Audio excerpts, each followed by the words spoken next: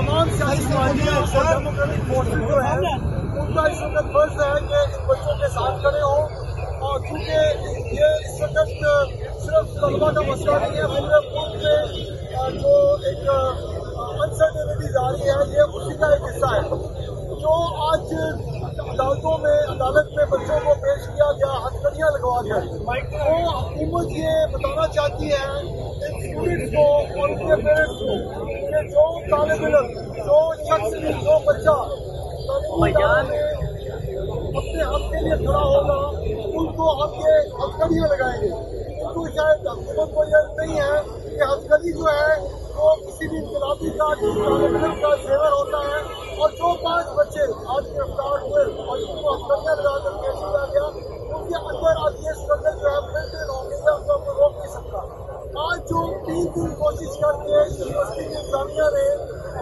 تین دن کا ریمانڈ لیا اس کا مقصد یہی تھا کہ ان بچوں کی اور ان کے پیرنٹس کو ڈرایا جا سکے کہ آئندہ کوئی طالب علم نہ ہو۔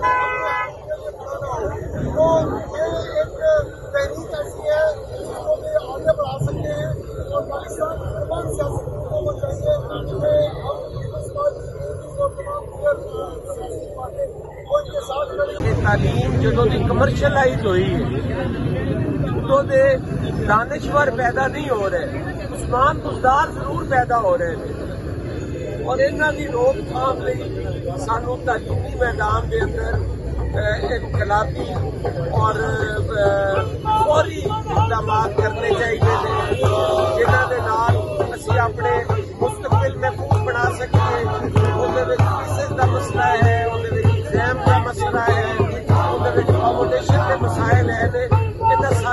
ساری چیزوں ایڈریس کیا جائے اور ان شاء اللہ تعالی پوری قوم اپنے اسٹوڈنٹس کے نال اپنے طلبا کے نال کھلوتی ہے اور مسائل کے حل تک جدوجہد کا حصہ رواں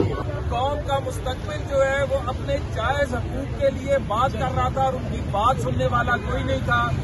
آج جب ہمارے ساتھ student section committee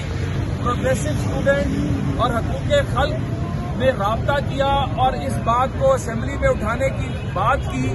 تو ہم نے ان دوستوں کے ساتھ بات کرنے کے بعد آج اسمبلی کے اندر میں نے ملک احمد خان صاحب نے اور پیپلز پارٹی کے حسن مرزا صاحب نے ہم نے یہ بات اسمبلی کے فورم پر کی اور ہم نے وہاں پر مطالبہ کیا کہ اس کے اوپر فوری طور پر ایک پارلیمانی کمیٹی بنائی جائے جو ان تمام ایشوز کو دیکھے اور طے ہوا کہ دو بجے یہ تمام اسٹوڈنٹس جو ہیں ایکشن کمیٹی اور یہ جتنے اسٹوڈنٹس باڈیز ہیں،